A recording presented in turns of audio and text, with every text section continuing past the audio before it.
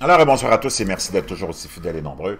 Ceux qui ne sont pas encore abonnés à la chaîne, faites-le, venez nous rejoindre, vous n'allez vraiment pas le regretter. Surtout en cette belle soirée de Noël, où on se retrouve, puis je vous retrouve avec plaisir, 25 décembre 2019. Hein? Le Noël de 2019, ça y est, presque terminé. Ça va vite, ça va très vite, 19h02, heure du Québec. On a une pensée pour tous ceux qui se pensent seuls, mais qui sont jamais seuls. Parce que de toute façon, on est toujours tous tout seuls.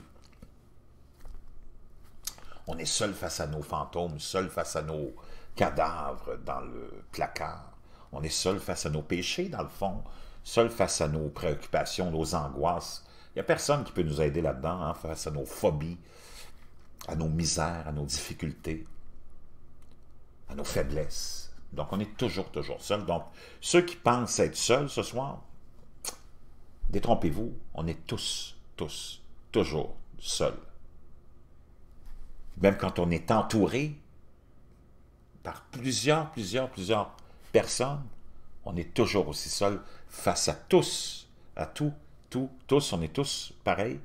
On est toujours aussi seul face à nos, à nos petites bébites, comme on dit par chez nous. Ceci étant dit, joyeux Noël quand même à tous. 19h03 du Québec avec euh, quand même beaucoup d'actions. Hein. Vous avez vu les tremblements de terre majeurs dans l'anneau de feu. Ça nous rappelle un anniversaire triste. Hein de ce tsunami qui avait dévasté l'Indonésie, la veille de Noël ou le jour de Noël. Beaucoup d'activités sismiques dans les dernières heures, affaiblissement de la magnétosphère, tempête géomagnétique qui nous a frappé, on en a parlé, hein? ce trou coronal qui faisait face à nous avec des vents de vitesse euh, hallucinante, nous amenant ces protons, photons et tout ce que vous voulez, rayons cosmiques en augmentation aussi l'affaiblissement de la magnétosphère. Éclipse solaire, hein, pour tous ceux qui sont obsédés par euh, des événements, hein, tu as l'éclipse solaire dont je vous ai parlé, l'anneau de feu qui est, en, qui est vraiment en feu, c'est le cas de le dire, puis un astéroïde demain qui passe pas loin de la Terre, mais quand même assez loin, puis il n'en manquait un aujourd'hui qu'ils n'ont pas vu, qui lui a passé pas mal proche, mais qui ne nous a pas heureusement euh, touché. On va aller voir tout ça. Le samedi était le solstice d'hiver, le jour le plus long, ou le plus court de l'année, pardon, hein, samedi dernier. Mais jeudi, le lendemain de Noël, donc euh, demain, pourrait être le jour le plus sombre de l'année, car une éclipse solaire fait noircir le jour à travers l'Asie, et un astéroïde géant d'un diamètre estimé entre 280 et 620 mètres passera tout près de la Terre. Hein? Éclipse solaire annuelle ou éclipse d'anneau de feu du Soleil le 26 décembre 2019. Les éclipses solaires ou lunaires sont assez faciles à prévoir selon les astronomes, mais il est très étonnant de voir à quel point il était difficile de détecter un astéroïde dangereux se dirigeant vers la Terre. Aujourd'hui, alors que le cercle de feu se réchauffe actuellement sur Terre, hein, le fameux anneau de feu, on l'a vu avec ce qui se passe là-bas, il pourrait également s'allumer dans le ciel le 26 décembre 2019 demain, le 26 décembre, la majeure partie de l'Asie ainsi que certaines parties de l'Afrique orientale et du nord de l'Australie connaîtront une éclipse solaire partielle. Et certains observateurs chanceux du ciel dans certaines parties du Moyen-Orient, du sud de l'Inde, du nord du Sri Lanka et dans certaines parties des Philippines seront, témoins d'une incroyable, incroyable éclipse annulaire du Soleil, parfois appelée éclipse de ceinture de feu. Le meilleur moment pour voir l'éclipse sera tôt le matin au Moyen-Orient, en milieu de matinée en Inde et au Sri Lanka et en, début d'après-midi en Indonésie, mais les heures précises varieront d'un endroit à l'autre. Ici, c'est le chemin de l'éclipse solaire du 26 décembre 2019. Une éclipse solaire se produit lorsque la Lune passe directement entre la Terre et le Soleil, mais le type d'éclipse qui se déroule dépend de l'éloignement de la Lune de la Terre. Lorsqu'une éclipse se produit, lorsque la Lune près du périgée, le point de son orbite, lorsqu'elle est la plus proche de la Terre, la Lune apparaît suffisamment grande pour couvrir toute la face du Soleil, ce qui entraîne une éclipse solaire totale.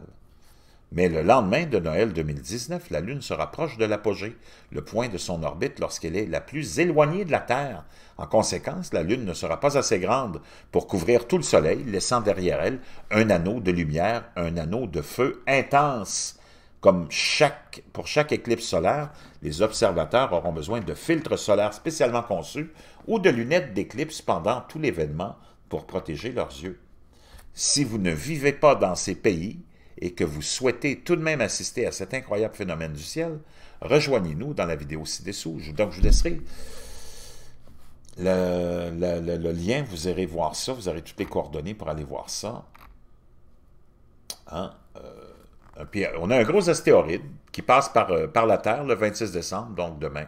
Un gros astéroïde d'un diamètre estimé entre 280 et 620 mètres, ou la hauteur du World Trade Center, ou le One Trade maintenant, le One World Trade Center de New York, sera le plus proche de la Terre le 26 décembre à 2h54, heure normale de l'Est. L'objet céleste massif surnommé 310-442 ou 2000 CH59 passera devant la Terre à une vitesse de 27 500 000 par heure à 4,5 millions de kilomètres. Pendant ce temps, la NASA a détecté un autre astéroïde plus petit, le 2019 YB1, qui est passé par la Terre aujourd'hui vers 11h41. Heureusement, l'astéroïde n'est pas entré en collision avec la Terre. Pourtant, c'était très proche. Donc, gardez les yeux vers le ciel, parce que vous ne savez jamais ce qui peut vous tomber sur la tête, parce que la NASA semble en manquer quelques-uns, et là, ils en ont manqué un. Donc, beaucoup d'activités, beaucoup d'événements qui s'alignent, et on verra bien avec peut-être les, euh, les conséquences de cette tempête géomagnétique hein, aussi. Tout ce qui pourra se produire. On a vu déjà l'activité sismique hallucinante des, des derniers jours. Puis on en voit euh, fort tremblement de terre à Santiago en Argentine, hein, je vous l'ai dit tout à l'heure. Beaucoup, beaucoup de tremblements de terre, les derniers des 24 dernières heures, hein, en Colombie.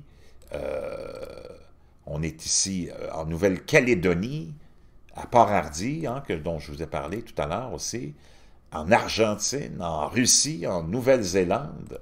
Je peux vous dire une chose, c'est pas une... C'est vraiment pas une sinécure. 5.7, 5, 6.2, 5.7. Je peux vous dire que beaucoup, beaucoup, beaucoup, beaucoup, beaucoup d'activités nous attendent. Dans les prochaines heures, espérons qu'il n'y aura pas de dommages majeurs, de victimes, de drames, mais on est toujours en attente de gros, gros événements qui sont en retard. Et ça frappe quand on s'y en attend le moins.